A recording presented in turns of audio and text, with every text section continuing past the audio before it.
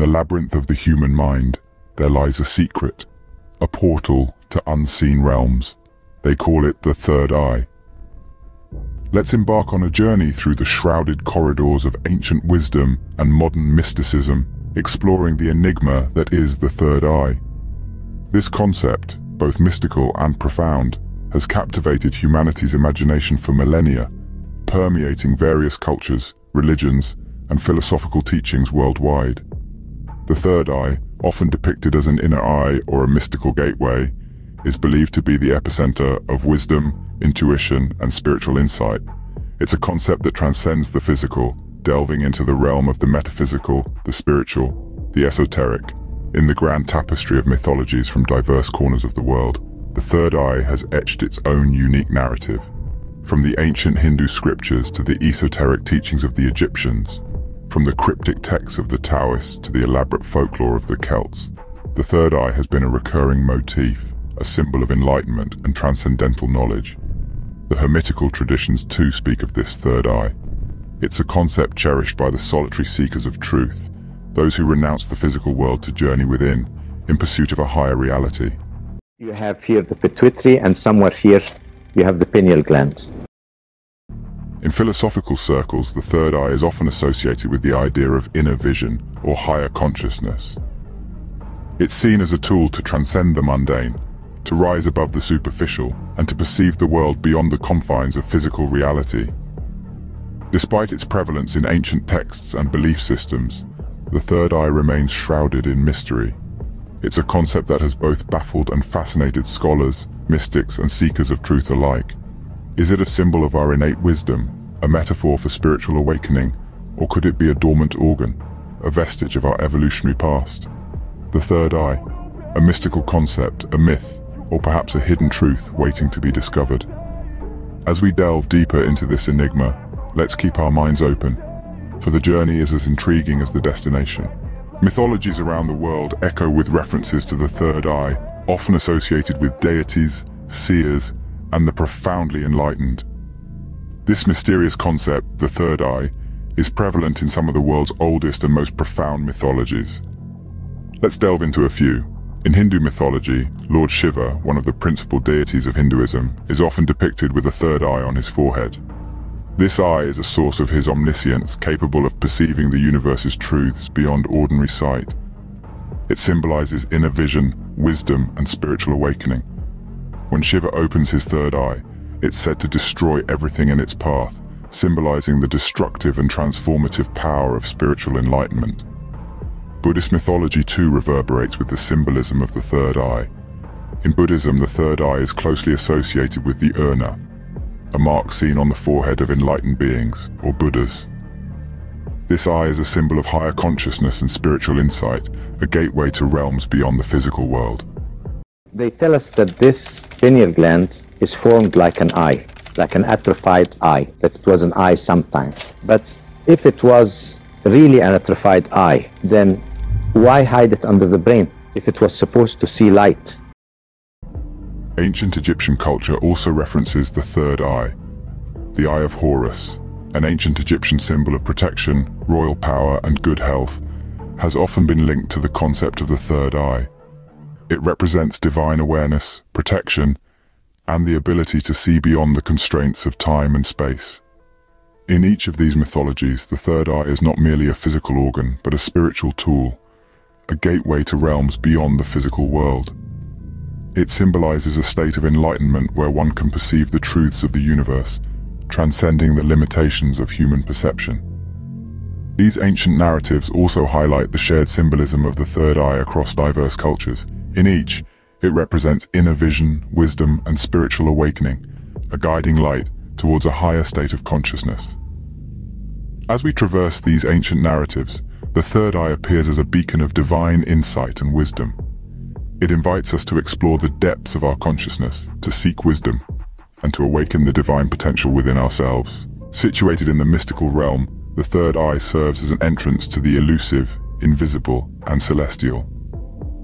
This particular point, present centrally on the forehead and slightly above the brows, is regarded as a conduit to realms beyond our physical world.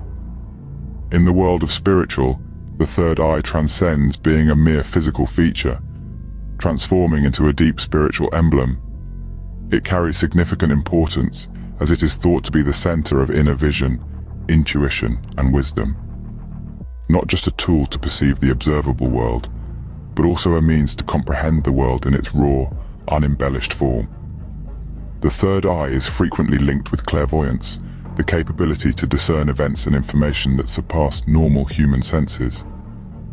Individuals with clairvoyance are thought to have a second sight, a unique ability to envision, anticipate forthcoming from an intuitive sense, as if they were occurring right under their noses, or manifesting distant or nearby events based on various internal aspects. Why have something that looks like an eye that gets information from outside, but at the same time is pointing downwards, under the brain? This second sight is considered to originate from the third eye, unfolding truths that are concealed from ordinary view. Additionally, the third eye is said to be the access point to astral projection, the process of the spirit or astral body departing from the physical body to wander in the astral plane. This isn't a physical journey, but rather a transcendent experience, a passage into celestial territories beyond our material universe. Lucid dreaming is also connected with the third eye. It signifies the situation of being alert within your dream, capable of controlling and manipulating the dream environment according to your will. This advanced state of consciousness is believed to be accessed through the third eye, enabling us to delve into the depths of our subconscious mind. The mystics, the visionaries, the enlightened beings, all talk of the third eye as a guiding light for inner wisdom and knowledge. It isn't a physical organ that can be observed or touched, but a spiritual tool for perceiving beyond the curtain of physical reality. They regard it as the key for surpassing the physical world, the voyage into the territories beyond. The mystics see the third eye as the key to transcending the physical, to journey into the realms beyond. In philosophy, the third eye symbolizes the pursuit of knowledge, the quest for truth beyond the veil of illusion. As we delve into the realm of philosophy, the third eye takes on a more profound significance. It becomes a metaphorical lens through which we perceive the world, a symbol of our internal compass guiding us towards enlightenment. It represents the human ability to transcend the physical world, to go beyond the superficial and see what lies beneath. Philosophers often view the third eye as an emblem of awareness and consciousness. It's the gateway to the inner realms and spaces of higher consciousness. It embodies the human capacity to think, to question, to ponder, and to seek answers. It's about the quest for knowledge and the pursuit of truth, the yearning to understand the world and our place in it. So, if this is inner vision, why here? Why looking here?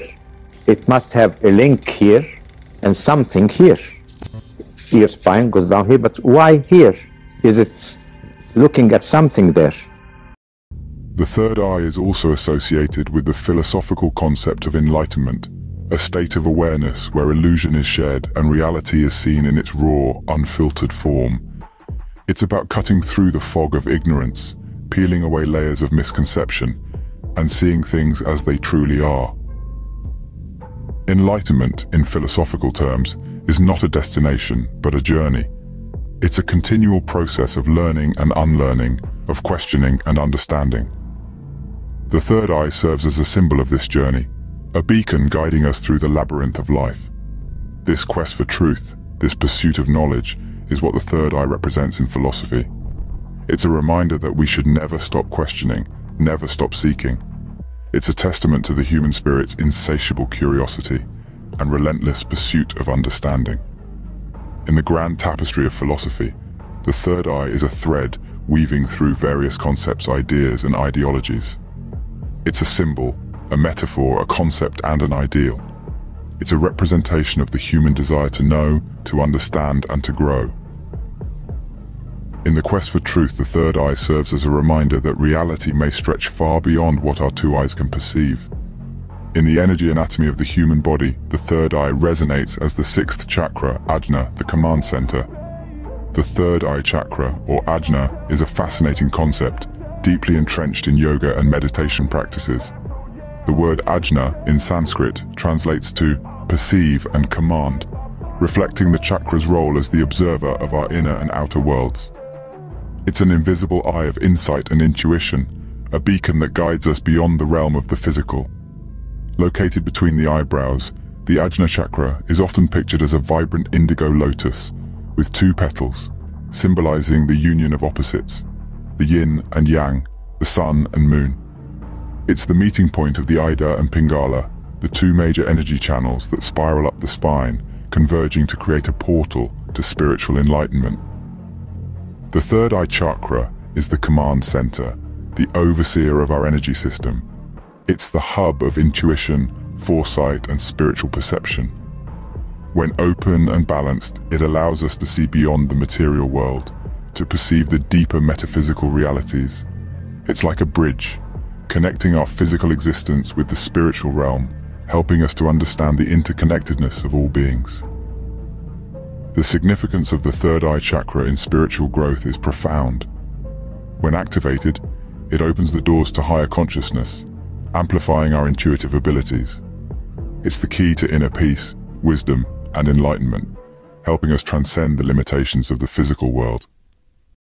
The heart is the place where you have the most blood in your body.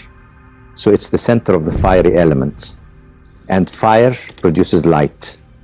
So the mystical connection of light of the heart perceived by the pineal gland, illumination, and then what's perceived out here with the visual center. So this light is in resonance with this center. So your inner light is here and it is on a harmonic, a higher harmonic to the actual light you perceive in colors. Balancing the third eye chakra is an essential part of any spiritual practice. Techniques such as meditation, yoga, and mindful breathing can help in opening and balancing this chakra. When balanced, it offers clarity of thought, heightened intuition, and a deep spiritual connection, guiding us towards our true purpose. The Ajna Chakra, our third eye, is the seat of intuition, the gateway to higher realms of consciousness. It's not just an ancient symbol or a mystical concept, but a powerful tool for spiritual growth, a beacon of light guiding us on our journey towards self-realization. The third eye a symbol, a concept, a reality. It's a journey of exploration into the depths of our own consciousness. We've delved into its mythological roots, its mystical significance, its philosophical interpretations, and its place within the chakra system. The third eye, a beacon guiding us into the unknown, a lens through which we can perceive beyond the physical realm.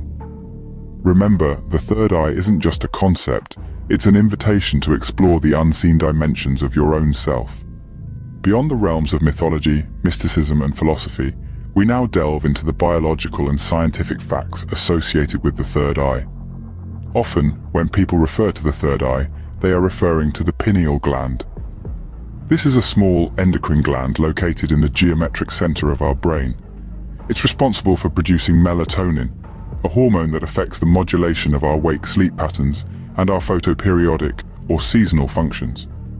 Some researchers have hypothesized that the pineal gland could be the physical embodiment of the mystical third eye, given its association with light and its effects on our circadian rhythms. That's why in any mystical experience, the light effect, I mean, if you do some meditation or do some prayer or something, sometimes you can see that there's some slightly more light in your vision. So there's a link between the centers here, pituitary, pineal, heart, and the brain then. It is indeed intriguing to think that this small gland could hold the key to such a powerful concept. In the realm of science, studies are being conducted to explore the role of the pineal gland in regulating sleep, mood, and possibly even spiritual experiences.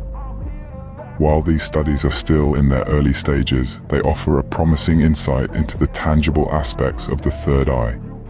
As we continue our journey, let's remember that science and spirituality often intertwine, each offers unique insights into the enigma of the third eye.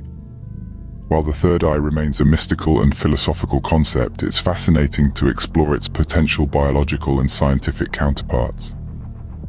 As we conclude our journey into the enigma of the third eye, remember, this is just the beginning.